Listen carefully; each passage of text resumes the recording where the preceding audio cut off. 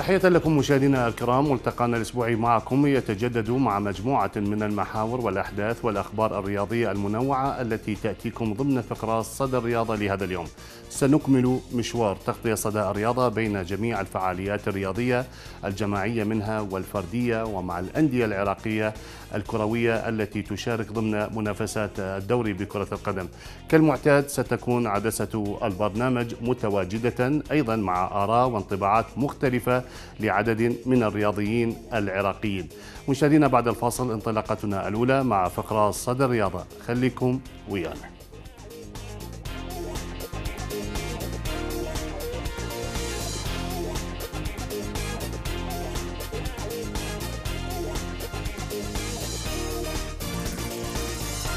نجدد ترحيبا بكم مشاهدينا الكرام وانطلاقتنا الأولى مع مجموعة من الأخبار المحلية والتي نبدأها مع المباريات الودية المقبلة لمنتخبنا الوطني بكرة القدم. إذ أعلن الاتحاد العراقي لكرة القدم الاتفاق النهائي مع نظيريه اللبناني والفلسطيني لإقامة مباراتين وديتين في العراق نهاية الشهر الجاري وبداية الشهر المقبل في ملعبي كربلاء والبصرة الدوليين. وقال عضو في الاتحاد إن الاتحاد اتفق بشكل نهائي مع نظيره اللبناني لإقامة مباراة تجريبية بين منتخبي البلدين في ملعب كربلاء الدولي في السابع والعشرين من شهر نيسان الجاري. أما المباراة الثانية التي تم تأمينها للمنتخب ستكون أمام المنتخب الفلسطيني في ملعب جذع النخلة في مدينة البصرة في السابع من شهر إيار المقبل. تقدمت إلى الاتحاد العراقي لكرة القدم مجموعة من الدعوات لغرض المشاركة والمساهمة آه، في احتفالات عديدة. البعض من عندها قدم الاتحاد دعوة إلى الاتحادين الفلسطيني واللبناني آه، وخلال الشهر القادم إن شاء الله ستقوم المنتخبات لهذه الدول وإسهاما من هذه الاتحادات من أجل آه، دعم الاتحاد العراقي إضافة إلى توطيد العلاقة بين الاتحادين العراقي واللبناني والفلسطيني إن شاء الله. أحد هذه الدعوات يوم 27 بنيسان والأخرى في الشهر الخامس يوم 7 بالشهر إن شاء الله. آه، مشاهدينا الكرام سنبقى مع آه، أخبار المنتخبات الكروية. لكن هذه المرة مع منتخبنا آه، الشبابي لكرة الصالات حيث وصلت بعثة المنتخب يوم الأحد الماضي إلى العاصمة القطرية الدوحة وذلك لخوض المعسكر التدريبي الذي يمتد حتى التاسع عشر من نيسان الحالي استعدادا لأولمبياد الأرجنتين 2018 وقد أجرى منتخب شباب العراق لكرة الصالات فور وصوله ميرانه الأول على صالة نادي الوكرة بقيادة المدرب علي طالب الذي أوضح بأن الجهاز الفني يسعى من خلال هذا المعسكر على تعزيز قدرات اللاعبين ورفع مجهودهم البدني وزيادة حالة الانسجام فيما بينهم. وأكد أن المهمة صعبة لكن ليست مستحيلة ونعول كثيرا على هذا المعسكر الذي يتضمن إقامة آه، لقاءين وديين مع المنتخب القطري الأول وخوض عدد من المباريات التجريبية مع الأندية القطرية والتي نأمل أن تسهم بشكل كبير في الوقوف على نقاط القوة والضعف لدى الفريق بغية معالجتها وتعزيز الإيجابيات منها.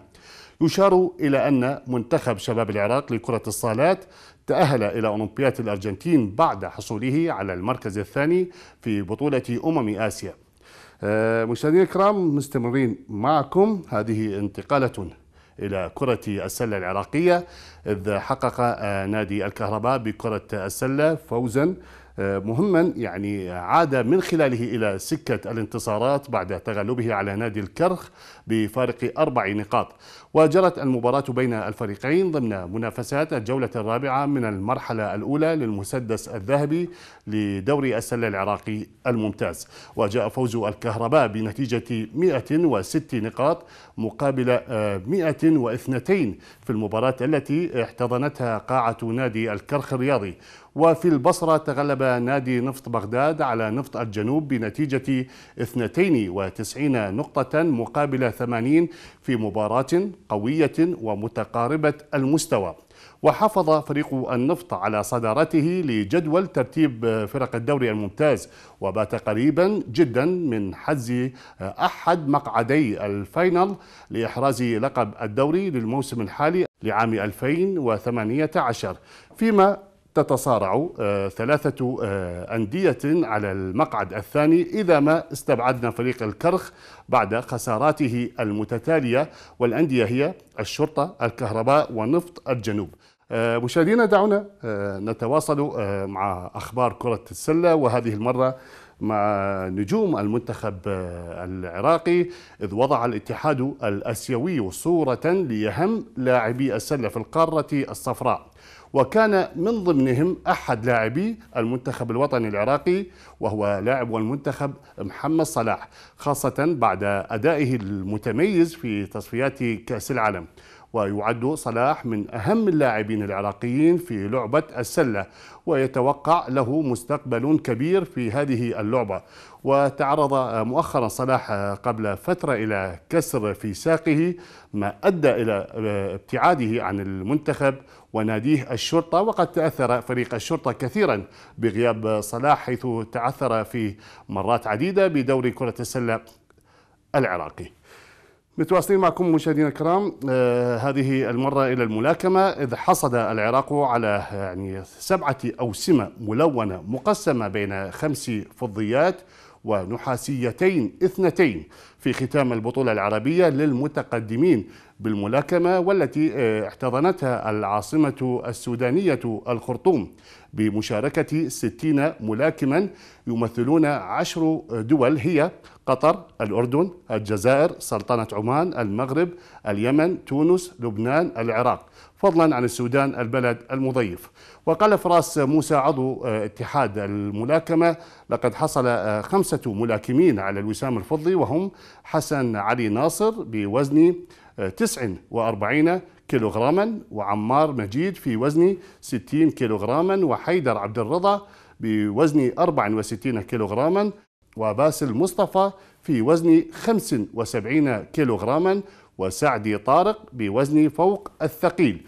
مبينا أن ملاكمين اثنين حصل على الوسامين النحاسيين آه، هما جعفر عبد الرضا بوزن 56 كيلوغراما وكرار كاظم في وزن 69 آه، بالتأكيد يعني نبارك آه، للملاكمة العراقية. يعني كنا في الحلقة السابقة لنا تغطية خاصة للمنتخب قبل طبعا آه، ذهابه ومشاركته في آه، بطولة السودان بطولة العرب. وقد غطينا معظم يعني استعدادات و يعني جاهزية الفريق قبل طبعا مشاركته في هذه البطولة. نبارك مرة أخرى للملاكمة العراقية على أقل تقدير على بعض الأوسمة والمشاركة التي نأمل أن يعني تتعزز بنتائج أكثر في المستقبل. آه، مشاهدينا ضمن الجولة الخامسة لدوري المجموعات لكأس الاتحاد الآسيوي آه، ملعب كربلاء آه، الدولي يحتضن مباراة الزوراء العراقي مع ضيفه العهد اللبناني في مباراة الإياب لمنافسات المجموعة الثانية ويدخل نادي العهد اللقاء وهو في الصدارة بثماني نقاط من أربع مباريات بفارق ثلاث نقاط عن الوصيف الزوراء الذي لديه آه، مباراة أقل بعد تأجيل آه، مباراته أمام المنامة آه، إلى السادس عشر من هذا الشهر. وقد أبدى لاعبو النوارس جاهزيتهم التامة للمواجهة في تصريح لهم قبل خوض هذه المباراة أمام العهد اللبناني. خلينا نتابع. أكيد استعداداتنا متواصلة لهذه المباراة المهمة في بطولة كأس الاتحاد الآسيوي. اللي نتمنى أن يظهر جميع اللاعبين بمستواهم المعهود. آه، وأكيد غايتنا في هذه المباراة هي تحقيق الفوز لا غير من أجل آه، يعني المنافسة على البطاقة الوحيدة من هذه المجموعة. آه، فريق العهد أكيد يعني فريق جدا ممتاز. أكيد الكادر التدريب يحدد نقاط القوة والضعف من خلال المباراة الأولى اللي لعبناها في لبنان آه، جميع اللاعبين يتحلون بالمسؤولية وأكيد قلت لك يعني إنه بالأول والأخير إنه غايتنا الدخول في هذه المباراة من أجل تحقيق الفوز. كل لاعب يتمنى إنه يلعب بين أرضه وبين جمهوره وبين آه، ناسه كذا الكل فرحانة. آه، نتمنى هذا يدوم على ملاعبنا العراقية وخاصة في بغداد. نتمنى أنه يرفع الحظر. أكيد هي المباراة مهمة ومباراة أولى بين ارضنا وبين جمهورنا كاس الاتحاد الاسيوي أكيد مهمة صعبة وفريق العهد من الفرق الجيدة. نتمنى من الله سبحانه وتعالى يوفقنا في هذه المباراة حتى نحقق نعزز موقعنا في المجموعة. أكيد الكل عازمة من كادر من لاعبين. أه ونتمنى الله يوفقنا في المباراة وإن شاء الله التوفيق للفريق. مثل ما تعرف انتظرنا مباراة الاتحاد الآسيوي أه ضد فريق العهد اللبناني. اللي نطمح له إنه كيف نعزز آه، حظوظنا من من ناحية البطوله الاتحاد الآسيوي. ونظهر بالصورة الطيبة اللي ظهرنا بها آه، بالدوري ونعزز صدارتنا أكيد بهذا بترتيب المجموعة أكيد. يصب بمصلحته ومصلحة الكرة العراقيه أكيد هذا الشيء. آه، مثل ما قلت لك كل اللاعبين وكل الكادر التدريبي مصممين على أنه نظهر بصورة يعني طيبة ومشرفة إن شاء الله. نتمنى من الله سبحانه وتعالى أن يوفقنا بهذه المباراة، تعرفون مباراه مباراة مهمة يعني فريق العهد يعني فريق فريق جيد. وإن شاء الله كل اللاعبين والكادر التدريبي آه، عازمين على ثلاث نقاط حتى نعوض المباراة اللي اللي خسرناها. مشاهدينا حددت لجنة المسابقات في الاتحاد العراقي لكرة القدم موعد الجولة الثانية والعشرين من منافسات الدوري الممتاز بكرة القدم والتي ستقام في أيام الجمعة والسبت والأحد المقبلة. الآن تعالوا نتعرف على مواجهة الأندية في الدوري ضمن منافسات الجولة الثالثة من المرحلة الثانية والتي ستنطلق يوم الجمعة المقبل الثالث عشر من هذا الشهر. خلينا نتابع. الأخير بسبب الغيابات بداعي الاصابه وكذلك بسبب الحرمان هذه الكرة والمحاولة. حددت لجنة المسابقات في الاتحاد العراقي لكرة القدم موعد الجولة الثانية والعشرين من منافسات الدوري الممتاز التي ستقام أيام الجمعة والسبت والأحد المقبلة. وبحسب تصريح عضو اللجنة السيد شهاب أحمد إن الجولة الثالثة من المرحلة الثانية تنطلق يوم الجمعة المقبل مبينا أن الجولة تنطلق بإقامة خمس مباريات. الأولى يضيفها ملعب الصناعة بين النفط والسماوة فيما يلتقي نفط الوسط مع البحري في ملعب النجف. ويحتضن ملعب الشعب الدولي لقاء الجوية مع النجف في الساعة الثامنة مساء. ويلتقي الميناء مع كربلاء في ملعب جذع النخلة في الساعة السادسة مساء. وفي ملعب التاجي يلتقي الكهرباء مع الزوراء. وتستكمل الجولة مبارياتها يوم السبت بلقاء نادي الحدود مع نفط الجنوب في ملعب التاجي ويضيف بغداد على ملعبه نفط ميسان ويخوض الشرطة مباراته مع الديوانية في ملعب الشعب الدولي. ويشهد ملعب الصناعة لقاء الصناعات الكهربائية مع الطلبة. وتختتم الجولة الثانية والعشرون يوم الأحد بمباراة الحسين مع زاخو في ملعب التاجي والجدير بالذكر أن نادي الزوراء يتصدر فرق الدوري الممتاز بخمسين نقطة بفارق سبع نقاط عن الوصيف الشرطة الذي حصد 43 نقطة. فيما يقف الجوية بالترتيب الثالث بفارق نقطة عن القيثارة والنفط بالترتيب الرابع بتسع وثلاثين نقطة. آه، الآن مشاهدينا يعني مع آه، ملف اتحاد آه، الكرة والانتخابات المقبلة إذ يبدو أن أزمات العراق السياسية انتقلت عدواها إلى الرياضة أيضا بعدما ظهر على السطح حجم الخلاف الكبير الذي يرتبط بإدارة الملف الكروي المحلي متمثلا في الصراع الذي يدور منذ أسابيع حول الترشح لانتخابات الاتحاد العراقي لكرة القدم لا سيما يعني بعد الخطوة التي أقدم عليها آه، الاتحاد العراقي لكرة آه، القدم باستبعاد سبعة مرشحين من المشاركة في الانتخابات على آه، الرئاسة وكذلك العضوية. وقد يعني أثارت هذه الخطوة جدلا كبيرا وردود فعل سلبية في الوسط الرياضي والشارع الرياضي والإعلام الرياضي خاصة وأن المستبعدين هم من اللاعبين المعروفين ولهم اسم وتاريخ كبير في عالم الكرة العراقية منذ سبعينات وثمانينات القرن الماضي. يعني أمثال عدنان درجال ونعيم صدام وآخرين.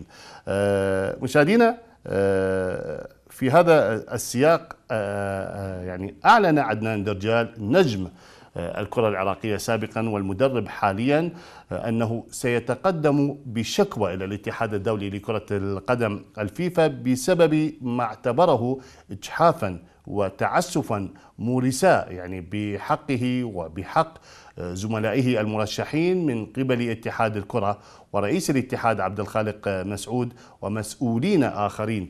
وتشير مصادر إعلامية. أن درجال نوه بالقول أن هنالك بعض المتغيرات والتطورات ستحدث قريبا ضمن هذا الملف. من جهته مشاهدينا الكرام تشير مصادر إعلامية عن وصول اللاعب الدولي السابق عدنان درجال يوم الاثنين التاسع من هذا الشهر إلى سويسرا لتقديم شكوى في الفيفا ضد الاتحاد العراقي لكرة القدم. والسبب يعود لاستبعاده من مجموعة الأسماء عن سباقات انتخابات الاتحاد الكروي بسبب التثنية.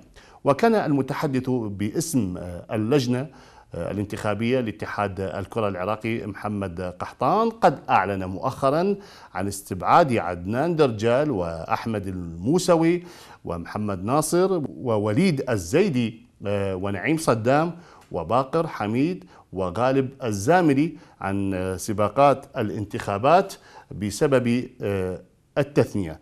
في السياق نفسه اعتبر المرشح الآخر لعضوية الاتحاد اللاعب الدولي السابق نعيم صدام أن ما جرى كان يعني خطوة مقصودة من قبل المكتب التنفيذي في الاتحاد العراقي الكروي لاستبعاد وإقصاء الكفاءات الرياضية. طالب بوضع حد لتدخل اللجنة التنفيذية في الانتخابات. أكد أيضا نعيم صدام أن لجنة الانتخابات غير مستقلة وتعرضت لضغوطات كثيرة من قبل رئاسة الاتحاد ما أدى إلى استقالة رئيسها محمد قحطان ونائبه. وختم بأنه يعني تقدم مع زملائه بطعون لدى القضاء ويأملون في أن يكون قرار الاستئناف في صالحهم. ولحد الآن تقدمت سبع طعون. مرجعية اللجنة لجنة الاستئناف هي لوائح الاتحاد والنظام الأساسي للاتحاد اللي على ضوءها سيتم البت بالطعون خلال الأسبوع القادم وستعلن النتائج يوم 16 بالشهر. بعض الطعون يعني ما تتوافق ويا النظام الأساسي مبدئيا وبعضها يعني يحتاج إلى دراسة.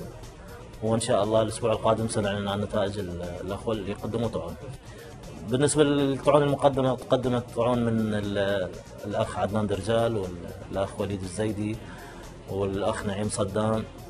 بالإضافة إلى طعن مقدم من محمد الموسوي لنادي كربلاء.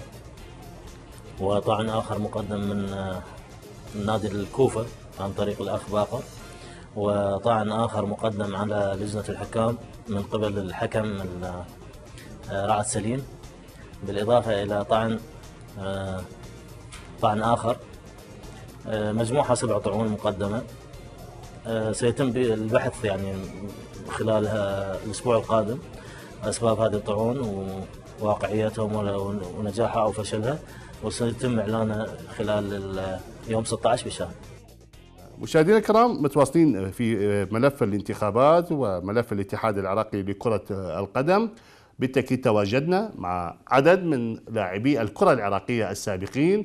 يعني فسألناهم عن انطباعاتهم عن المشهد الكروي العراقي بشكل عام والفترة الحالية التي يتم فيها التحضير لانتخابات اتحاد الكرة وكيف ينظرون حول استبعاد الكفاءات من القامات الكروية المعروفة عبر يعني تاريخ كرة القدم العراقية عن الانتخابات.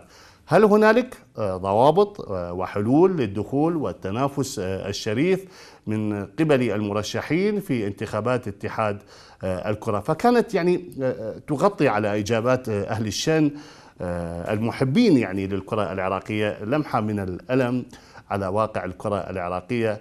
يعني في الوقت نفسه كانت العيون يعني حزينة ترنو وتمني النفس لرؤية مستقبل مشرق يمحو الصورة التي ظهرت بها الكرة العراقية يعني في السنوات الأخيرة. مشاهدينا الآن دعونا يعني نتوقف مع الرياضيين المختصين باللعبة وانطباعاتهم حول هذا الأمر. خلينا نتابع. حقا بالنسبة للانتخابات اتحاد كرة القدم هذا الموضوع الأزلي الشائك اللي في كل في كل مرحلة أو كل دورة يعني يظهر ويطفو هذا الموضوع على السطح. أعتقد يجب أن تكون هناك حلول جذرية لهذا الموضوع أو الرياضة العراقية بصورة عامة لأن إحنا إذا نلاحظ يعني نشوف المشاكل انتخابات سواء على مستوى الأندية أو سواء على مستوى الاتحادات وكذلك على مستوى اللجنة الأولمبية. فهذه كلها يعني تبين كنقطة نقطة سوداء في الرياضة العراقية وعلامة يعني علامة استفهام كبيرة. يعني يجب أن هناك تكون حلول جذرية والحلول يجب أن تكون حكومية بالدرجة الأساس لأن تنظيم القوانين هي مسؤولية الحكومة ومسؤولية البرلمان. لهذا أعتقد يعني بأن الحكومة والبرلمان العراقي يجب أن يضع هذا في في اجنته ولو يعني خلينا نقول الدور البرلمانية شارفت على الانتهاء بدون أن نشاهد تصويت على قانون اللجنة الأولمبية أو قانون الاتحادات أو قوانين الأندية. لأن من يوجد قانون راح يحدد الضوابط وكل يعني شخص يأخذ حقه وفق القانون الماشي. تعرف إحنا عندنا قوانين سابقه يعني يعني قوانين الأندية وقانون الاتحادات من النظام السابق ولحد الآن هي أعتقد سارية سواء على اللجنة الأولمبية أو على الاتحادات وعلى الأندية. لكن لاحظ يعني هناك مشاكل. يعني أكو اتحاد أو أكو أندية تطبق هذا القانون واكو انتخابات تجري على وفق لوائح. من ضمنها أعتقد اتحاد كرة القدم اللي وضع لوائح خاصة يعني لوائح لوائح يعني تثير الاستغراب وبها عليه أكثر من علامة استفهام لأن يعني حسب ما يقال بأن اللوائح فصلت على مقاس أعضاء الاتحاد وهذه أعتقد نقطة مو يعني مو يعني جيدة في يعني صالح الرياضة العراقية بصورة عامة لأن الاتحاد هو يمثل كرة القدم ويمثل يعني خلينا مثل نقول حكومة كرة القدم في العراق. فلهذا يجب أن تكون هناك شخصيات رياضية، شخصيات محترمة، شخصيات لها تاريخ رياضي، تاريخ مشرف بالإضافة إلى الإمكانية الإدارية والإمكانية المهنية. هاي الشخصيات اللي نتمنى أن تأخذ دورها على على المستوى يعني الاتحاد.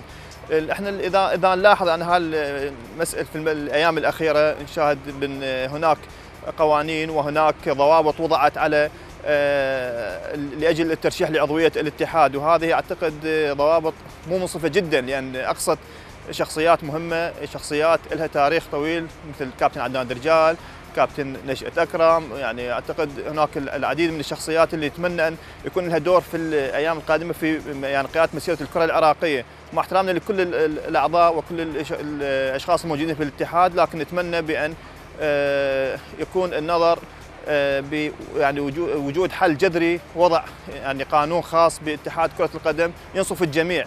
يعني مو يعني يميل إلى جهة على حساب جهة أخرى. وهذا اللي نتمناه إحنا كرياضيين كمتابعين كمحبين للرياضه العراقية. نتمنى بأن يكون هناك حل جذري لمسألة الاتحاد وهناك قانون منصف يأخذ كل ذي حق حقه. طبعا موضوع انتخابات اتحاد كرة القدم وتغيير الوجوه الأشخاص الأعضاء أو النائبين الأول أو الثاني أو حتى رئيس الاتحاد. يعني مسألة تحدث في كل دولة يعني. إحنا نسعى نحو الأفضل.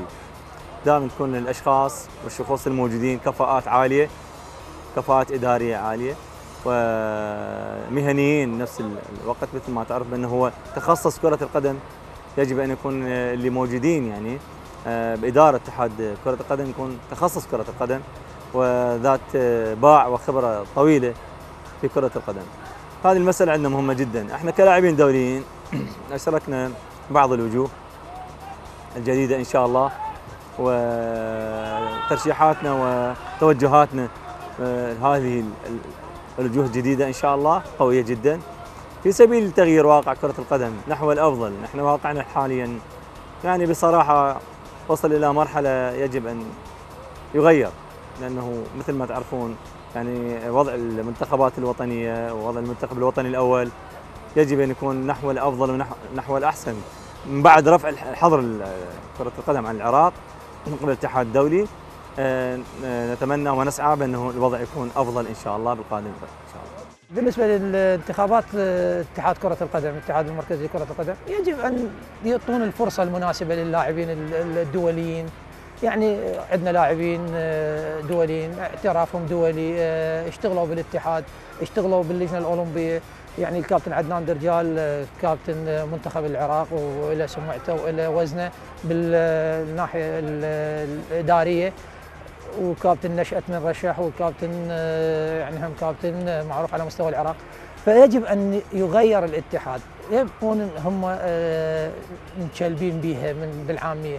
يجب أن يتركون المجال يعني الشباب أن تطمح أن تشتغل أن تقدم خبراتها. والكابتن عدنان درجال مو أن هو يعني شاب يريد يقدم. كابتن عدنان درجال له خبرته وإلى وزنه بالاتحاد الآسيوي بالاتحاد الدولي عنده علاقات. مثل ما الكابتن حسين سعيد نفس الشيء. فذول طاقات يجب أن نستغلها ويجب أن يكون هناك تغيير شامل وكامل بالنسبة لاتحاد كرة القدم.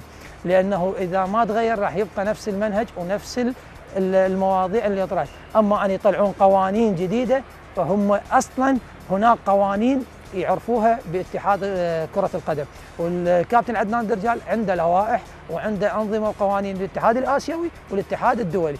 فيجب أن يكون تغيير يعني آه، شامل آه، في اتحاد كرة القدم نحو الأفضل وإعطاء فرصة للاعبين الدوليين السابقين اللي عندهم المنهج وعندهم فلسفة آه، بالقضية، أما أن يطلعون لنا يوميا قوانين وتشريعات جديدة فما أعتقد هاي في مصلحة آه، البلد.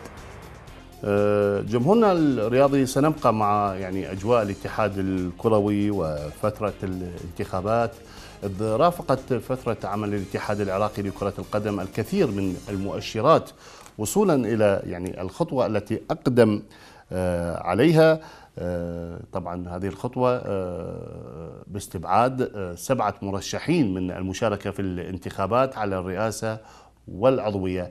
هذه الخطوة أثارت يعني جدلا كبيرا وردود فعل سلبية في الوسط الرياضي والشارع الرياضي والإعلام الرياضي. فمن الطبيعي أن تظهر على الساحة تساؤلات وأمنيات ومطالبات تدور في أذهان الجميع. عسى أن يكون القادم أفضل للكرة العراقية ما مرت عليها من كبوات ونتائج سيئة جراء التخبط وسوء التخطيط وتراجع المستوى الفني آه، للكرة العراقية. آه، مشاهدينا بالتأكيد هذه آه، طبعا وفقا لأبرز الانتقادات التي طرحها الزميل مناضل الساعدي الإعلامي الرياضي في حواره لصدى الرياضة. خلينا نتابع. يبدو أن المشهد الرياضي آه، العراقي الكروي يسير آه، في نفق مظلم وباتجاه آه، خلق مشاكل بين نجوم الكرة العراقية السابقين وبين أعضاء اتحاد الكرة. الكل يعرف اليوم انقسم موضوع المشهد الانتخابي إلى فريقين. فريق بقيادة نجم الكرة العراقية السابق الكابتن عدنان درجال وفريق آخر بقيادة آه، الملا عبد الخالق مسعود رئيس الاتحاد الحالي. إلا أن هنالك معطيات كثيرة. وأمور تشير إلى أن اتحاد الكرة الحالي لم يتقيد بالقواعد واللوائح اللي وضعها. وكثير من هذه الأمور آه، مثلاً آه، موضوع لجنة الانتخابات. إذا ترجع للقانون يجب تشكيل هذه اللجنة قبل ستة أشهر ويتم ذلك عن طريق الانتخابات وليس عن طريق التسمية. اللي شاهدناه أنه تم تسمية هذه اللجنة ونتيجة الضغط الإعلامي الكبير والجماهير الكبير ولوضوح الرؤية لدى الشارع الرياضي بهذه المخالفات اليوم آه، استقال آه، رئيس لجنة الانتخابات أكيد الكل يتفق والكل يأيد وجود آه، نجم على رأس الهرم.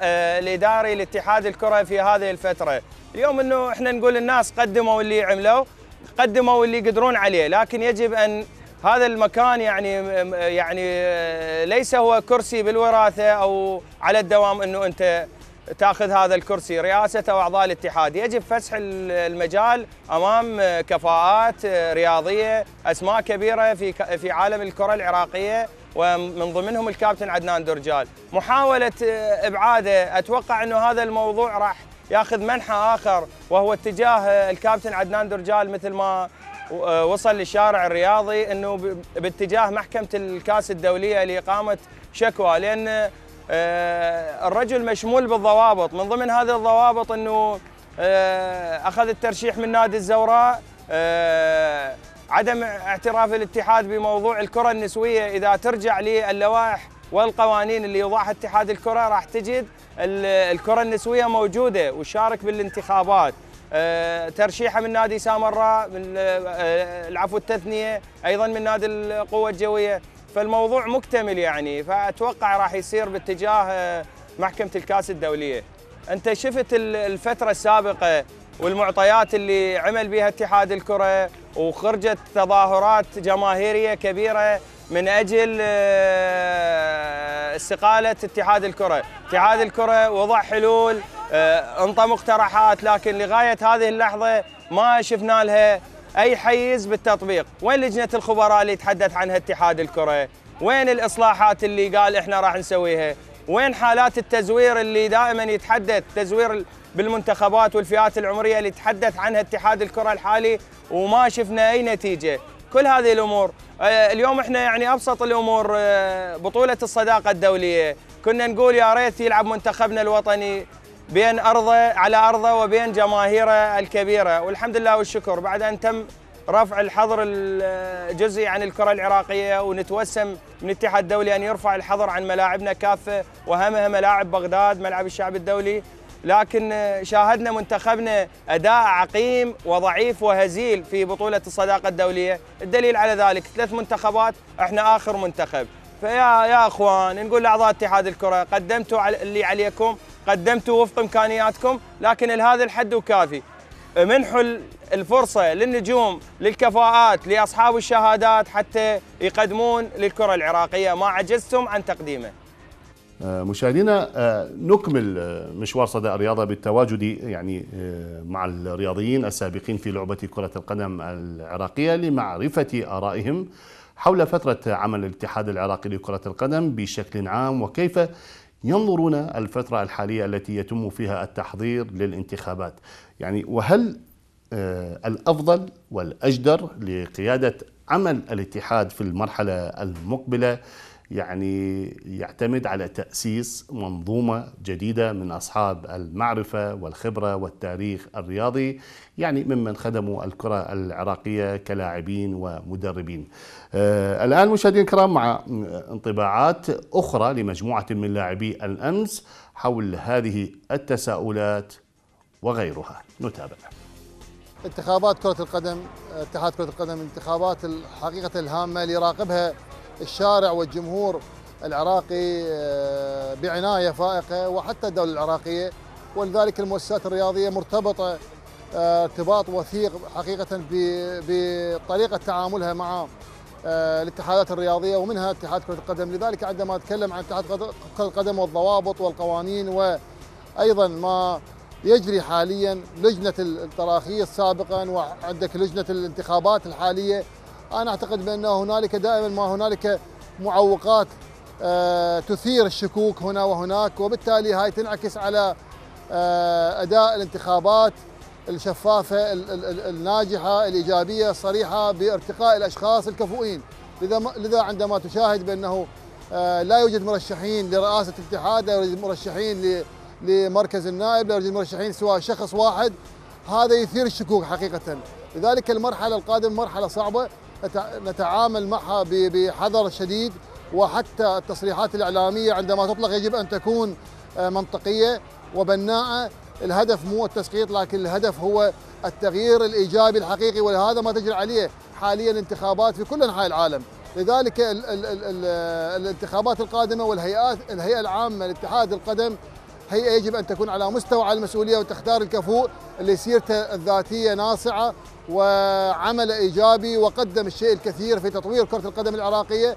لذلك هنالك شخصيات مع جل احترامي للكثير منهم لم تقدم شيء لذا آه، هي رسالة التنحي عن هذه المراكز. هذه المراكز مو أماكن آه، آه، للحصول على مكاسب شخصية وبالتالي هذه المكاسب الشخصية ما راح تعطي شيء رجائي بأنه تغيير الضوابط والقوانين اللي اللي اللي بصراحة سببت هاي المشكلة وبالتالي أنا أعتقد راح تكون هنالك شكاوى على مستوى عالي وبالتالي إبعاد النجوم بهذه الطريقة وعدم حصولهم على على تمثيل وهنالك التثنية وهذا الأمر حقيقة لا يتلائم مع طبيعة واقع الحال.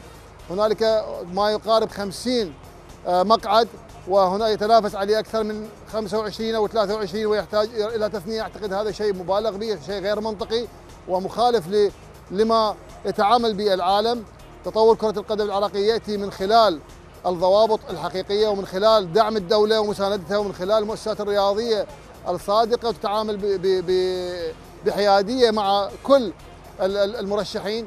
لذلك المرحلة الجاية أنا أعتقد مرحلة صعبة واتحاد كرة القدم مسؤول عن أي إخفاق يحصل في هذه الانتخابات ومسؤولية كبيرة أمام الجمهور وأمام الله سبحانه وتعالى الحقيقة آه، اتحاد كرة القدم العراقي آه، يعني دا يعمل بآليات يعني ما نعرف يعني خلي يعطون خلي يعطون فد فرصة لل للناس الرياضيين اللي اللي اللي تستحق أن تعمل بالكرة العراقية. الكرة العراقية يمكن بالفترة الفترة الماضية يعني ما حققوا فد شيء للعراق. خلي يعطون يعطون فرصة يعني آه، شلون الأخ عدنان درجال. عدنان درجال شخصية مرموقة وشخصية محترمة وما أصور اثنين يختلفون على آه، شخصيته آه، عدنان درجال. يعني رجل معروف بالعراق وبالخليج وبالوطن العربي كله. يعني إذا عدنان درجال ينشال من الانتخابات بعد ما أعرف طلع طلع على السلام طلع على الكرة العراقية السلام. هم اعتيادي على أعضاء الاتحاد هم اللي يعني الظاهر يعني آه يعني شلون يعني قايسين قياسات لهم يعني. خلص هذا ما يصير هذا ما يصير آه يعني شلون شلون أقول لك يعني. خلوا فد عراقيين أنا أتصور وأتوقع لكل المرشحين. يعني أي مرشح يجيهم راح يخلون فد عراقيين يعني ما يعني ما ما أعرف ما أعرف. عراقيين منين يجيبوها ما اعرف آه، جمهورنا الرياضي آه، الآن مع مجموعة من الأخبار الرياضية المنوعة نتعرف عليها من خلال الوقفة التالية وهي فقرة دقيقة ونص. خليكم ويانا.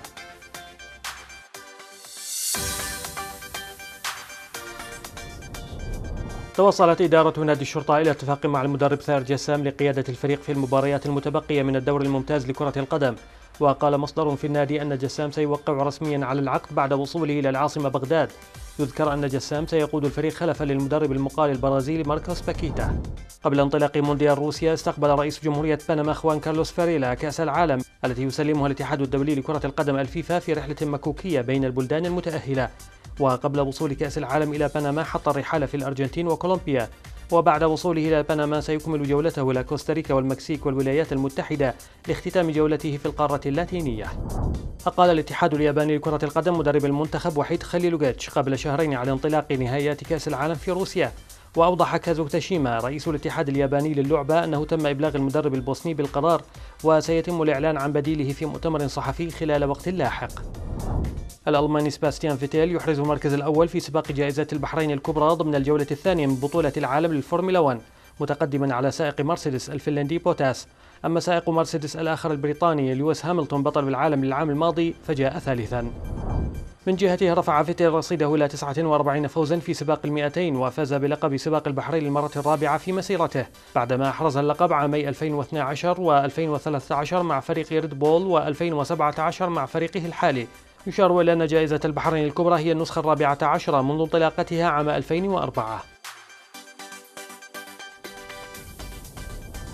أهلا بكم مشاهدينا الكرام مع منافسات البوندس ليغا إذ توج فريق بايرن ميونخ بلقب دوري الدرجة الأولى لكرة القدم للمرة السادسة على التوالي والسابعة والعشرين في تاريخه بعد الفوز على مضيفه أوغسبورغ بأربعة أهداف مقابل هدف ضمن المرحلة التاسعة والعشرين من المسابقة. وقبل خمس جولات من نهاية الموسم. وفاز فريق بايرن بلقب الدوري الألماني ب ب 28 مرة حيث جاء أول تتويج له في موسم 1932 33 قبل تطبيق نظام البوندسليغا في عام 1963 ولكن منذ تطبيق هذا النظام حصد اللقب 27 مرة. ونجح فريق بايرن في تحويل تأخره بهدف آه، أمام فريق أوغسبورغ إلى الفوز بأربعة أهداف لينفرد آه، بصدارة البوندس ليغا برصيد 72 نقطة بفارق 20 آه، نقطة عن أقرب ملاحقيه فريق شالكة. وعلى مستوى خط الهجوم يمتلك البايرن أقوى خط هجوم في الموسم الحالي حيث سجل 76 هدفا حتى الآن كما يمتلك أقوى خط دفاع إذا اهتزت شباكه 21 مرة. ويتطلع فريق بايرن للهيمنة على جميع البطولات في الموسم الحالي في الولاية الأخيرة لمدربه العجوز يوب هاينكس حيث اقترب الفريق من التأهل إلى المربع الذهبي لدوري أبطال أوروبا بعد فوزه في ذهاب دور الثمانية على ملعب إشبيليا الإسباني بهدفين مقابل هدف واحد كما يلتقي مع باير ليفركوزن في المربع الذهبي لكأس ألمانيا في السابع عشر من الشهر الحالي. وحقق فريق بايرن فوزه الثالث والعشرين هذا الموسم آه، مقابل ثلاثة تعادلات وثلاث هزائم. آه، مشاهدينا الكرام متواصلين معكم ومن بين أهم المواجهات في إطار منافسات الجولة الثالثة وثلاثين من بطولة الدوري الإنجليزي الممتاز لكرة القدم نجح فريق مانشستر يونايتد الإنجليزي في تحقيق فوز مهم وصعب على حساب نادي مانشستر سيتي بثلاثية مقابلة هدفين. تقدم فريق مانشستر سيتي عن طريق رأسية كومباني في الدقيقة الخامسة والعشرين وأضاف غوندوغان الهدف الثاني للمان سيتي. في الشوط الثاني نجح فريق مانشستر يونايتد في قلب الطاولة على السيتي بعدما قلص الفارق عن طريق لاعبه الفرنسي بول بوجبا ليعود اللاعب بوجبا ويضيف الهدف الثاني والتعادل لمانشستر يونايتد بعد عرضية رائعة من زميله سانشيز.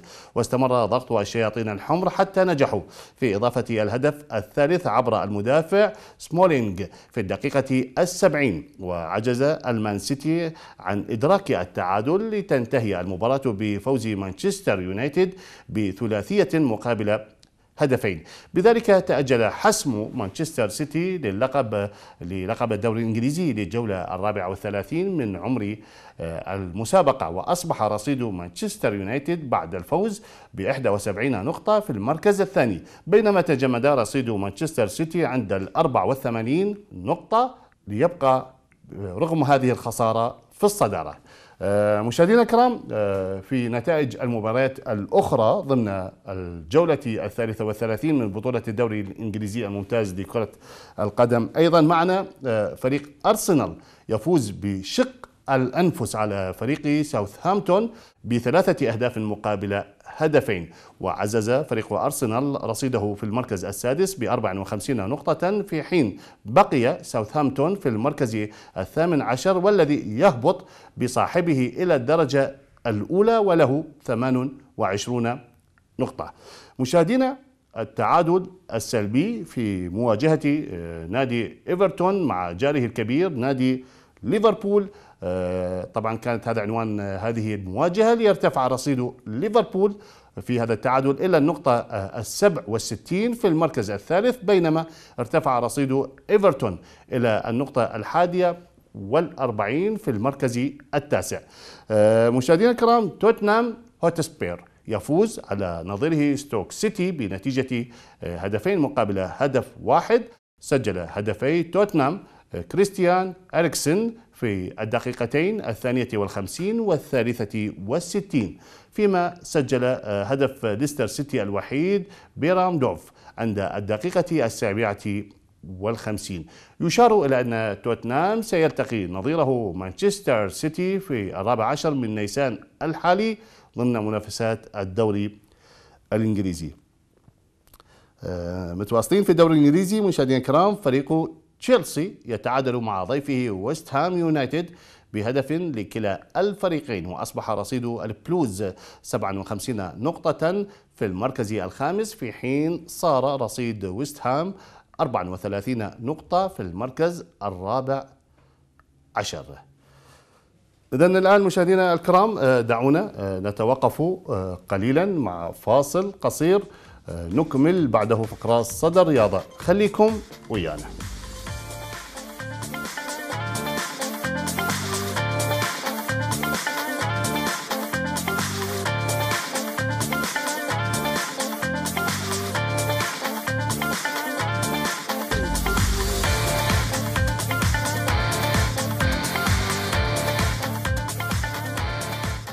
الآن مشاهدينا الكرام مع منافسات الليغا فضمن المرحلة الحادية والثلاثين من الدوري الإسباني لكرة القدم حسمت نتيجة التعادل الإيجابي بهدف لمثله قمة ديربي مدريد بين الريال وجاره الضيف أتلتيكو مدريد. ليكون فريق برشلونة المتصدر أبرز المستفيدين من هذه النتيجة. ففي مباراة حفلت بالمتعة والإثارة افتتح فريق ريال صاحب الأرض النتيجة بفضل نجمه البرتغالي كريستيانو رونالدو في الدقيقة الثالثة والخمسين قبل أن يتمكن أتلتيكو من الرد سريعا بفضل مهارة الفرنسي أطوان غريزمان في الدقيقة السابعة والخمسين. بهذا التعادل عزز أتلتيكو رصيده في الوصافة ب 68 نقطة وبفارق 11 نقطة كاملة عن برشلونة الذي اقترب من حسم التتويج بلقب الليغا. لا سيما طبعا بعد فوزه السبت على ضيفه ليغانيس بثلاثة أهداف مقابل هدف سجل فيها الأرجنتيني ليونيل ميسي الأهداف الثلاثة ليبتعد بذلك في صدارة هدافي الليغا.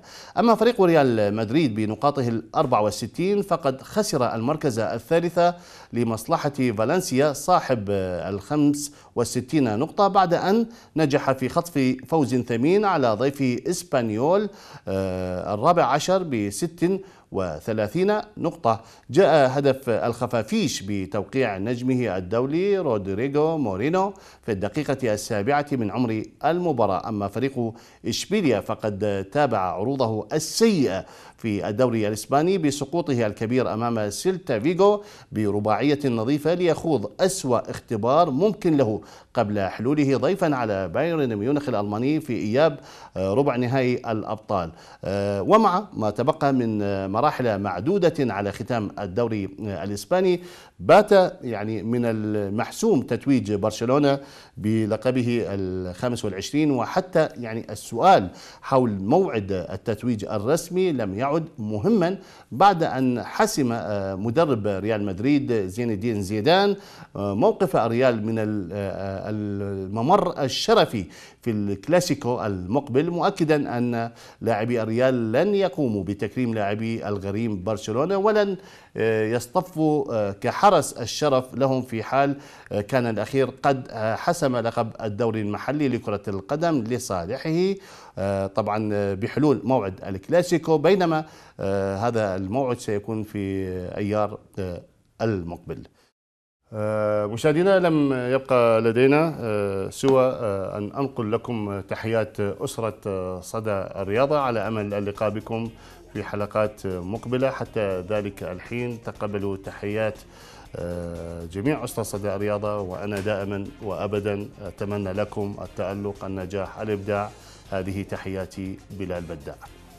مع السلامة.